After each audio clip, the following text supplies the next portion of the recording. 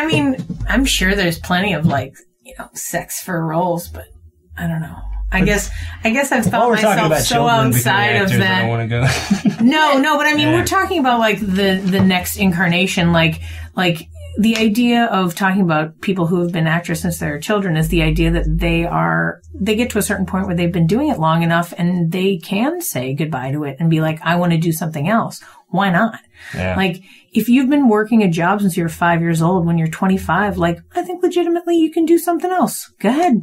Like, you've been doing it for 20 years. You can relax. It doesn't you can that cross often, that off though, your you know? list. It, depends though, because I find that a lot of people just get involved in the arts and then they end up directing or, Yeah, you know, true. they're just sort of like, that's the world that they know. You know, if you're raised on set, like that's what you do because you've watched people do it forever. That's your skill set. Like, but some people are like, I want to get away from it or my parents wanted to do it. And there's all these laws now to like take care of the kids that are doing it. But I'm more concerned. I mean, certainly in our discussion that we were having about the idea of like, you were talking about how he had had that time, uh, Shia LaBeouf again, uh, about when he did the plagiarism thing. And we were all, you know, everyone's like, oh, no, it's horrible. And then he like changes it up and time passes and people forget. And I feel like that's, that's the journey of the whole thing. It's like, yeah, sure, you're going to bomb. You're going to screw something up real bad. Nobody wants you to plagiarize, of course. And in this day and age, it becomes really a lot harder even to steal because people call you on it super intensely fast. But, um, not that I'm like saying, hey, No, yeah, so- crime- it sucks. I'm. I it's like- honestly. I'm sorry. Just real quick. I have that thought all the time. I'm like, man, I, eh, I wish crime were easier. Like, like 40 years ago, crime seemed so easy. I don't know why everybody wasn't doing it. It seemed like, like seriously. It was easy, and they didn't realize it.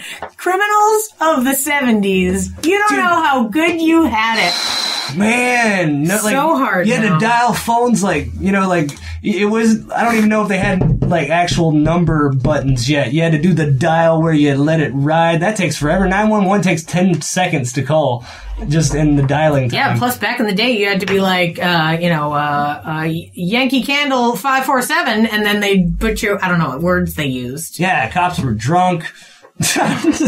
Everybody was. matter. Everyone was just smacking. Oh my god. Okay, this is ridiculous and off topic, but whatever. I'm telling you this story.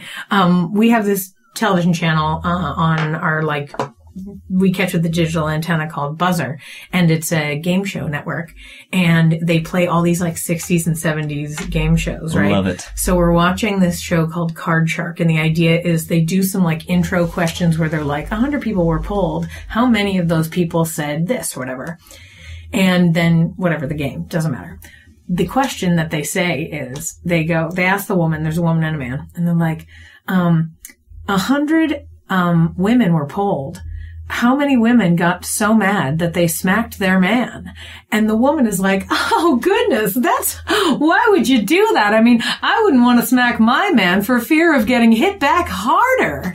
And my husband and I are like, what? She said that. She. she said those words like and i was like and we're like okay it's it's like 1963 like that's what And the whole crowd was like, "Yeah, you're Like, right. You oh better my watch God. yourself." Right? you know, like my husband was like she said harder which means like it's not a question of whether or not she'll be hit it's a question of like how hard it will Yeah, be yeah. based on her He won't hit me as hard as he normally does when we're just, you know, when I just don't cook dinner on time. right It's gonna be, it's gonna be like a holiday drunk hard. That's gonna. that's a different kind of shot to the mouth Delia. Wow.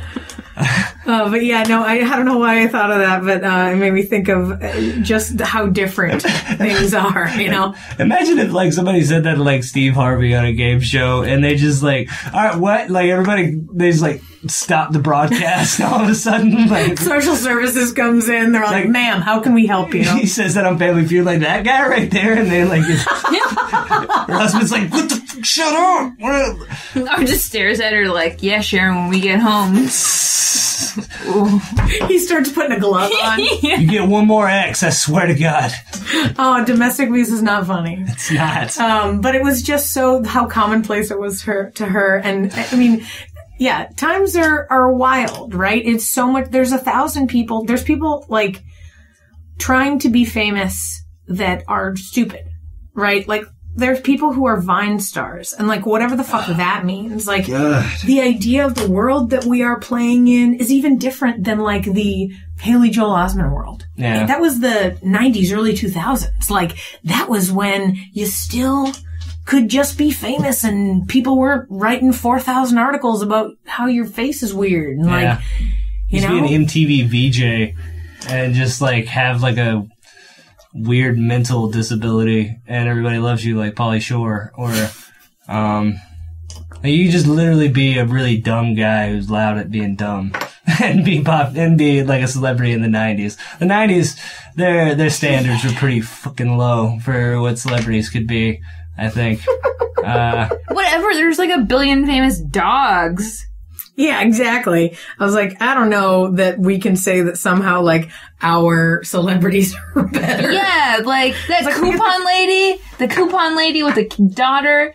That's the thing though. Coupon Now, Lady. exactly. I have Oh, no idea what that she's a talking now? about. Is that a reality show thing or something? It was. It was that little like those little pageant kids. Oh, oh, boo. yeah, uh, no, I'm not going to say it. I know what okay, it is, okay, but I'm not okay, going to okay. Yeah, I don't, yeah, let's not even endorse that. I, yeah, yeah. Um, Yeah. Anyway, her mom was just a hoarder and she, a coupon queen, and she just got a bunch of toilet paper. I want the one episode I saw, her kids were throwing toilet rolls of toilet paper at each other and just like wasting it. And I thought, cool, glad that whatever got chopped down so your kids could have fun and fucking rule wherever the fuck they are. It was ridiculous. you know, like the But justice think- there though is they don't get paid. They get paid jack shit, and they they don't realize that the reason they have a television show is so that the rest of like the ninety percent of the world around them can just laugh at what it's like to be in that scenario, like to live in Virginia and drink Mountain Dew all the time. And I shit. think that when the Duck Dynasty guys realized that like 90% of the people were just making fun of them, that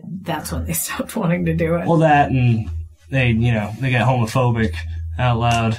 No, but that's the other thing too, is that like reality stars get all of the bad part of fame, all of the extra attention, all of the like overwhelming involved in your life bullshit, and none of the fun. I get to pretend to be somebody else. I mean, I, of course, they're pretending to be somebody else, but that's sort of probably already the persona, like you were saying, like how some people just live in their persona. Those people are great reality stars Yeah. because they have nowhere else to be. Like, I can't be on all the time. Like, you know, I'm happy to answer everyone's questions all the time, but like sometimes I'm like, yeah, I'm leaving now because if I move two more feet, seven more people are going to ask me questions. And not that I don't want to, but sometimes it's like, oop, I'm at my threshold. And because I know that, I'm like, uh, can I handle this? Like, what kind of fame thing could, do I want? You know? Yeah. What am I going for? like I kind of felt like that like coming back from having to go home recently where it's just like I have to give the same like you know circle of life life goes on everything everything's going to be all right let's move forward kind of speech so many times that it's just like I was like avoiding people for a really long time and hmm. it's like no matter what it is it's just like I hate having to like talk about the same thing over and over again. And I think that's like a huge failure of mine as far as like trying to be an entertainer because I kind of, I feel weird talking about like me and the shit I'm trying to do all the time. And you kind of need that, you know, to get it out there. Well, that's these days. You Yeah, know, yeah. I was, what was I just listening to? I don't know, some, some podcast, some person. I'm going to say it's likely Marc Maron or Pete Holmes just to give credit where credit is due because that's pretty much what I listen to. But, um, the idea was that these people, you know, were working on their, uh, on, on their art and, and before you could just write a joke and it's a joke, but now it's about being vulnerable. It's about being like telling your story. Yeah. What's and, and like even when we had that gal come, um, maybe about six months ago. Remember we had that girl who came and talked about like TV writing and like development stuff and how like Oh yeah. you should try to write something that's like about your own life and that like if it's about your own life, then the development people will be like, great, you have unending amounts of episodes potentially in you. So that's what you should go for. Like if you want the kind of deal, because that's what they're looking for at this point. And I'm like, okay, that's great. But like, I keep struggling to figure out what it is about my life that anybody wants to know. Mm-hmm. You know, like me, maybe, you know, not that that's very narcissist. I'm sorry. I'm hugely narcissist, but like, yeah, I can see why I could be like, Hey, who wants to see me on TV? Like, sure, that would be fun. Everyone would like that. We could figure out some way of me to talk about whatever. But like, I don't know, like telling the story. See, like, no shit, reality television has sort of uh, opened up. It's caused this nationwide like pandemic of uh, voyeurism. Like this, like it's opened up this really voyeuristic side of everyone where they just like to.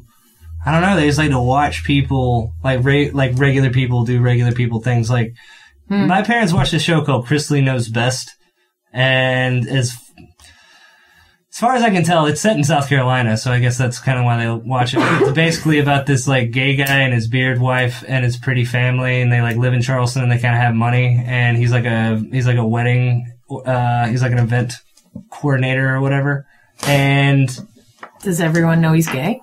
no, I mean, I'm the.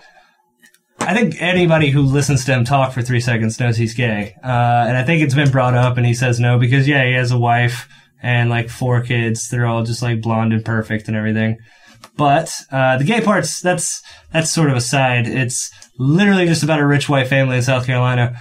That that's it. That's it. That is all the show is about. Is about rich white people in South Carolina. Like there's no weird hook. There's no games they play. There's no challenges. There's no nothing. Just slightly affluent blonde people in South Carolina. And it's like, apparently a lot of people watch this show. It's in its like fourth or fifth season already. I and watched the California ver- version of those. You know, Laguna Beach and uh and whatever the other I one was watched called. Laguna Beach and the Hills. the Hills. That's it. Yes. Yeah, that was The rain Anyway, that was the that was white. That was rich white people in California. There's at least drama there. There, those are young, sexy people. Like, there's this is just a family. I don't like. There's not even But really like he hair plans pulling and- weddings. Is there are there weddings? Kinda, yeah, but it, it's it's- not really. it's- It's not really about that. It's not like Oh, that's him trying to get weddings put together. It's literally just about the family bullshit that they deal with, and like his kids are little spoiled brats. And Yeah, I, go like- do I stuff appreciate the voyeurism thing. I think there's also the other side of that, which is that like everyone thinks their shit is important. Yeah. And I think that came from the give everybody a, and I'm, I'm sounding like my, you know, dad here at this point, but it's like everybody's getting a trophy. Why? Yeah, yeah. You know, like, I don't understand Yeah, why everybody has to get one. And thing, as soon as everybody gets a trophy, everybody thinks, oh, my, my shit is really important and everyone cares about it. Well, that's social media too. Like, like people used to just keep their shit inside their stupid heads, and now it's like, like, like a diary. That's what that's what we used to do. Like our important thoughts and things we wanted to hold on to is like a diary. And Facebook is our diary now, and we and we think we need everybody to hear everything we have to say all the time.